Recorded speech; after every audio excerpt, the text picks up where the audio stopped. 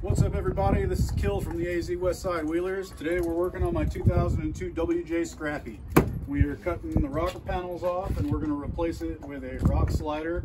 I got a 2x8 188 wall piece of steel tubing from our local scrap yard and uh, we're going to cut that down to size, get it welded up and we'll see what it looks like when we're done. So the first thing we're going to do is we're going to remove this lip. This is going to come off and that just pulls apart and uh, we're going to take the plastic off the inside of the doors. There's a little piece on the back here and it's got three little screws in it and those are just regular Phillips screws. We're going to go ahead and take these out, pull this piece off, and then we're going to put a piece of tape that runs the length of the rocker panel so I can keep my lines straight and uh, get to cutting with a death wheel. So we'll see how this goes. I've got my lovely assistant here ready to help me and my other not quite as lovely assistant who is not really much help, but she's fun to have around. Let's get to it.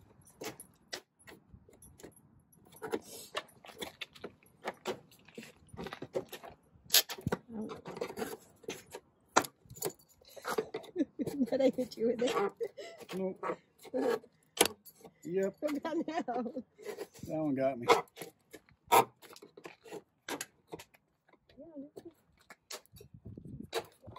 Yep, you just finesse them out of there, nice and gently. Good thing we're not reusing them.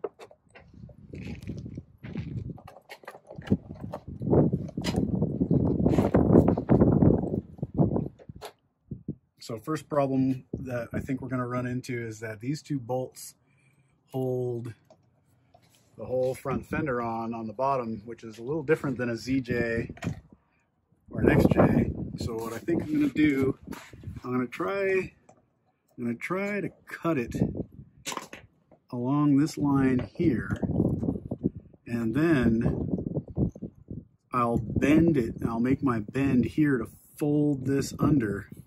That way, when I have the rock slider that goes all the way across, I can drill two holes to put these bolts back into and drill it down through the top.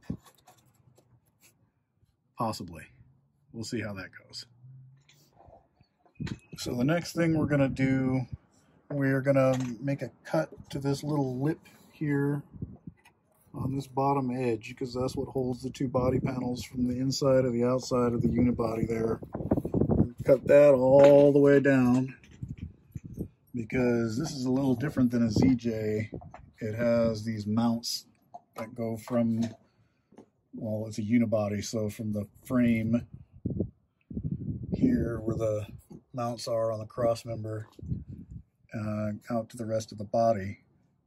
So I'm wanting this to be the backing that we can weld the slider to so that it takes the place of all of this. So first we're going to cut away this little lip so that this piece of steel tubing will slide in there and we'll weld the bottom seam to it in theory. That's the look of confidence right there.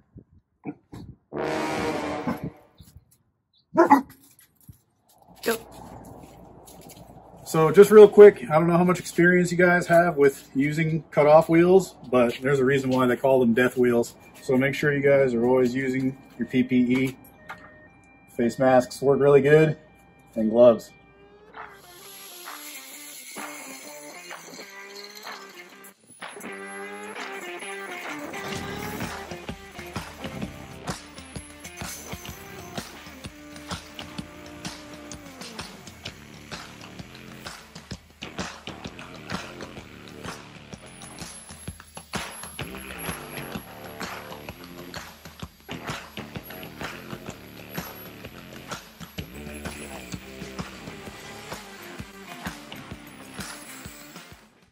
Okay, next part we're gonna do is we're gonna take a piece of blue tape and we're gonna run it down the line for the seam right underneath the door. And we're gonna leave just a little bit of gap because this is where the weld is gonna go directly to the slider. And uh, make sure you get it nice and even and give you a nice straight guideline. No problem. Right, babe?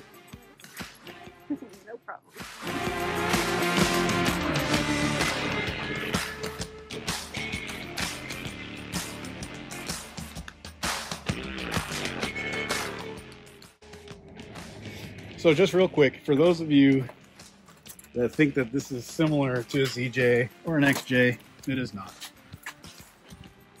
After you make a nice straight line cut and you peel this down, there is another wall in between. So where this lip is right here, there's another wall that goes straight up in between the two sandwich halves of the unibody. Behind that. Now I want the backing here to be where I put my weld to hold the slider so that the slider is replacing all of this. But it's kind of hard to see in there behind this wall, which was the outside, there is an interior little wall with the B pillar support that goes up the outside of the middle here for the frame. And that's basically where your support comes from for if you roll the truck. So we're going to have to figure out a way to support that because the doors on a ZJ, when they close, this is your lip that you're cutting on a ZJ and your square tubing slides under here and this is where your support comes from. But because on a WJ, the flashing goes down farther, there's nothing above that. If I were to slide that tube in there right now, I've got about two inches of space of dead space where there's no support. So if a rock comes up and smashes it on the bottom, you're just going to bend that piece of tubing straight up over your door and you're not going to be able to open your door because you'll be trapped inside by your rock slider folding around the outside edge. So what we need to do is figure out maybe we can put a bar in there and weld it to the top of the tubing on the top of the plate that we put in here, we could put another little piece of square tube to support all the way through the run of it is what I'm thinking. But that's not my final decision yet. So we're gonna we're gonna get this outside piece all the way off so I can get a better look at what I'm dealing with in here. And I might just score a line on that wall that matches the level of this line that I've cut on the outside so that the piece of tubing can slide all the way in. And then we'll take it from there. You ever see those stupid videos where people take things apart, like their iPhone cases and stuff, and there's like a, a wedding ring inside, and it's like, did you ever know? And it's like, I don't know, it's this stupid thing on TikTok. Well, apparently, if you cut open the rocker panels on your Jeep, you'll find stickers inside of it. Uh, hands for kids are not for hurting.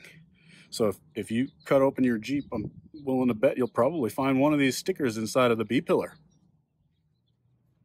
So as you can see, I've marked out from the cut a perfectly straight line that goes around the tub. And then, don't worry about that second line. That's a control line. Um, that matches the line of the what will be the frame. So I just got to cut this out. And I can remove the outside layer and the inside layer, but then there's still a middle layer that we're going to have to solve for. Okay, so perhaps a helpful tip when you're going through making your cut, uh, what I ended up doing was getting a larger cutoff wheel. Um, I got a six inch cutoff wheel instead of the four and a half inch one that I was using to get to this inner inner wall uh, because the four and a half inch wouldn't really reach it. So I cut along basically the same line that I had cut from the outside with the tape, and I'll clean that up with a flat disc or something to get it straight, just to kind of make it fit a little better.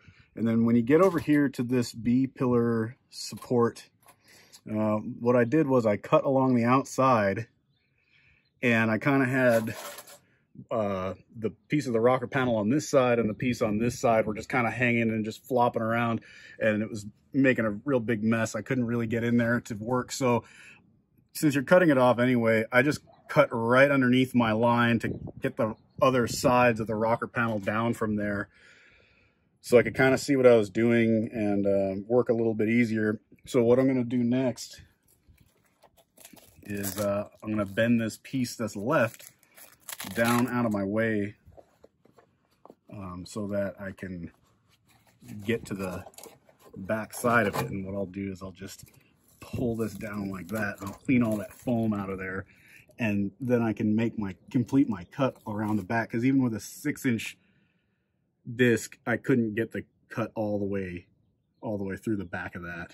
And uh, so I'll just, I'll just hit that with a Sawzall or something and knock that piece off and then clean up the rest of these edges. And uh, the next step after that, we're gonna have to figure out, so WJs have more curves and angles than XJs and ZJs. So if you notice this front pocket where the, the 2x8 is going to slide into starts out nice right here and it's even with the outside edge from the inside lip up top here. That's even flat with this. But as you go back, there's an angle right here that starts and starts to go up, making that channel closer to like two and a half inches wide instead of two inches. So what we may have to do is um, put a little piece in the top back here because it gets pretty wide at the top and the back. It's probably about three and a half inches back there and it tapers down to two inches down to the front. So for the first maybe two and a half feet from here up, you'll have a solid channel. It's two inches that it'll fit right into. But from here back, it's a little bit wider. It's probably about three and a half inches. So uh, we'll figure something out for that. And uh, yeah, we'll go from there. Okay, after you get uh, your rocker panels cut off, uh, it's time to uh, take it to your local barber. What's up guys? We're here at our local barber shop because out west, your barber is also your blacksmith and also kind of like a dentist. Probably pull a tooth if you really needed him to. So let's go on inside, check it out.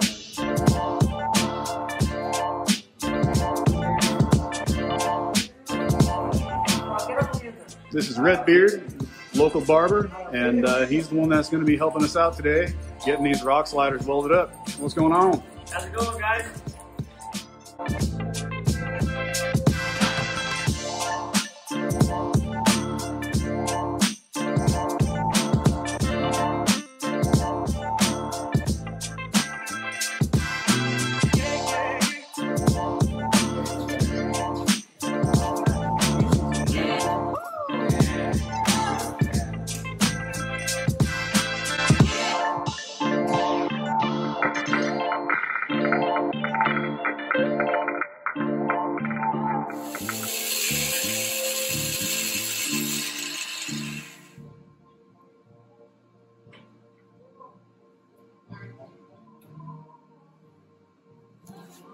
Hello.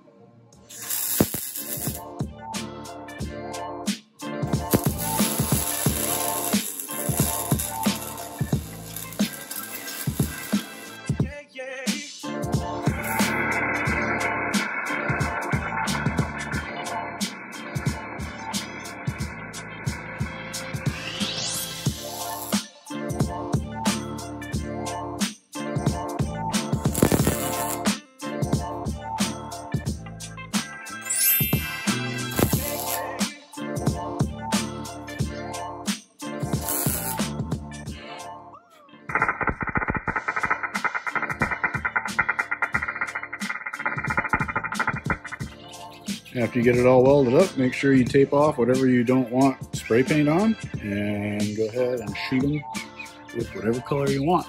I'm going to try to get as close as I can to the charcoal gray that the plastic is, although I couldn't find that color at the hardware store. So I got some flat black I'm going to do a primer coat with and then a lighter gray and hopefully the primer coat will darken it up.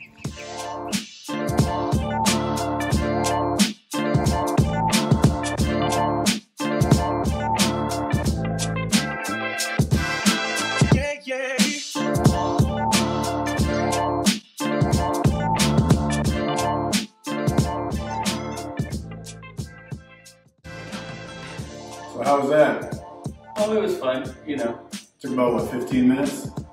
no, it took all day. It was a lot more than we anticipated, but in the end, it came out pretty good, and I'm pretty happy with the results. And until the next episode, You just got welded on. There they are.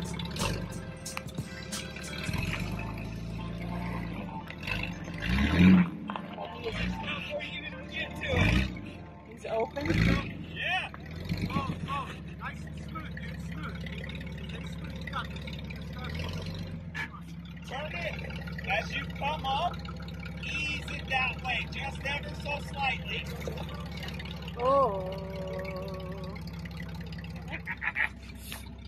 All right. Now we'll go with it. Watch the slider. They're not moving at all. You're rubbing the hell out of them and you ain't even moving. You're moving the rock, dude. The whole rock just moved. I ain't never seen a slider that sturdy, dude. I wouldn't do that with mine. All right, straighten it out, Keelan. There's no reason to keep coming up, honestly. No, there ain't. Go ahead and back it back out of it. You're riding the slider all the way out. You're good. Yeah, Keep going. once you get a little further, we'll No, stack Watch this other rocks. side, Joe. Right. That's right. There you This go, other right side. I know. I'm good. there. Keep Just going, tap man. it You're down. okay.